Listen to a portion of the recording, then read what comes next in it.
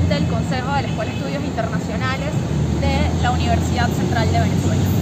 Hoy estamos acá a las afueras del Programa de Naciones Unidas para el Desarrollo, PNUD, junto a algunos jóvenes que me acompañan, porque los venezolanos y específicamente la juventud venezolana está cansada de ver su futuro truncado en este país. Cuando tratamos de emigrar, vemos cómo también nuestros derechos son vulnerados. Hoy hay dos culpables.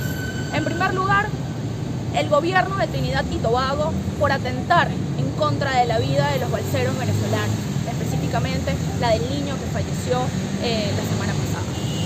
Y en segundo lugar está el régimen autoritario de Nicolás Maduro, ese gobierno que lo que ha hecho es convertir a Venezuela en un país lleno de miseria y lleno de desidia. Hoy los venezolanos le exigimos a la Organización de Naciones Unidas y al resto de los organismos internacionales que se aboquen a la lucha de los venezolanos, que no basta solo con decir que rechazan una situación en particular, una situación que sucedió y una, una situación que viene sucediendo desde hace muchísimo tiempo cuando los migrantes, cuando los venezolanos nos vemos en la necesidad de emigrar debido a la situación política, económica y social que se vive en el país.